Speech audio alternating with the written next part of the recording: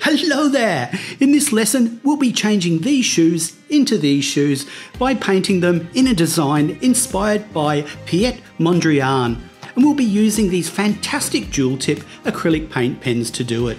If you haven't used these before, you will really like how versatile they are. The fine tip allows for precise detailing and the broad tip enables larger areas to be covered. We purchased these shoes from our local department store. They are vinyl, but paint pens will work on leather and canvas shoes also. The first step is to remove the laces and prepare the surface by cleaning it. If you are using canvas shoes, you can paint them straight away. In the case of vinyl or leather, you can use hand sanitizer as a prepping agent. Just ensure it has 75% alcohol. Use a paper towel to apply this.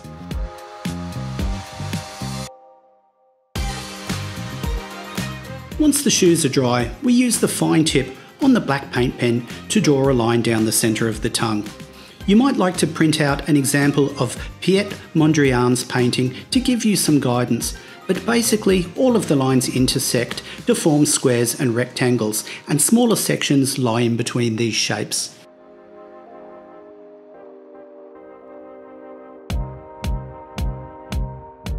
The paint in acrylic paint pens dries very quickly, but it still takes a few minutes to become touch dry. So to avoid smudging, lay the vertical lines in first on one side of the shoe and put it aside to dry. Then do the side for the other shoe.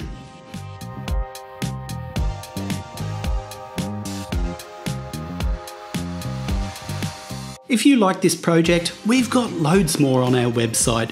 Jump online to check out our Create blog and sign up with Creative Connection to get lessons, inspo, tips, and more sent directly to your inbox. Staying inspired doesn't have to cost a cent.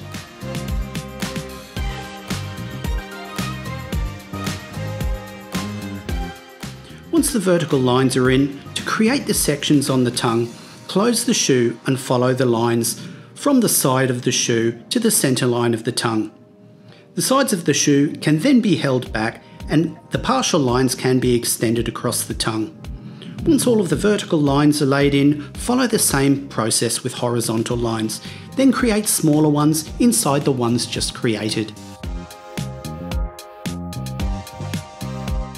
Mondrian used red, yellow and blue in his artwork, so we start with the red and the toe is the first area laid in.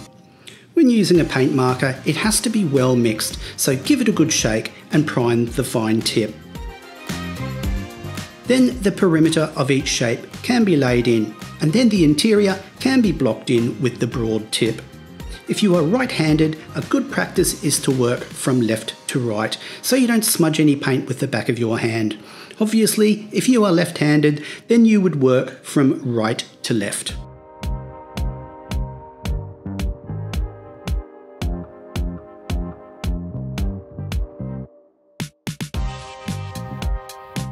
Follow the same procedure of finishing the colours on one side of each shoe, and while it is drying, work on the side of the other shoe.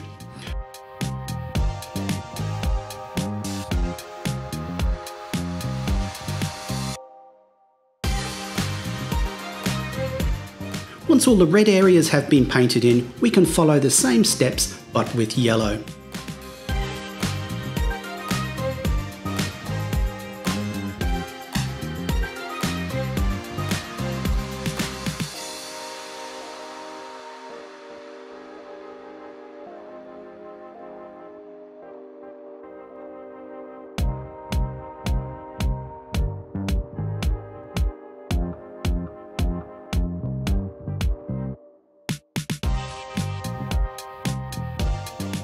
The yellow is in, now we can add the blue.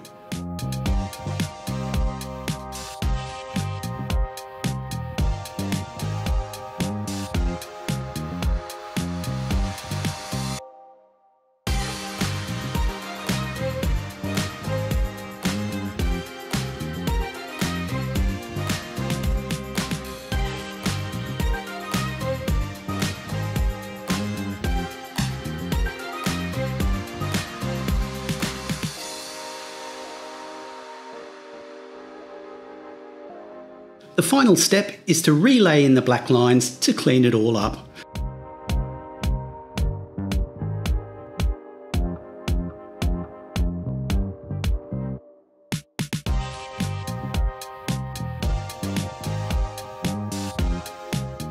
Now we just have to put in the laces and we're good to go.